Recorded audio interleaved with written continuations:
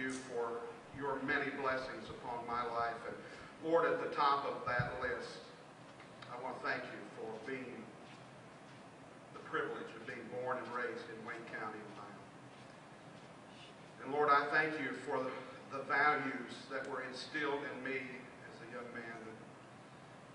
Lord, in a day and age when many folks in urban areas look down their nose at rural folks, Lord, help us to realize as a country that there are some things that Wayne County has that our country sure could use a lot of. A, a sense of community, of faith and family and love for our fellow man, and community service, of caring for one another. Lord, I thank you for all of those things that you blessed me with right here in Wayne County. And Lord, we know our country is only as good as its communities. And so, Lord, I pray your continued hand that you would bless and continue to bless the United States. I pray your continued blessings on the state of Ohio. And I pray your continued blessings on Wayne County, Ohio. We pray and ask all this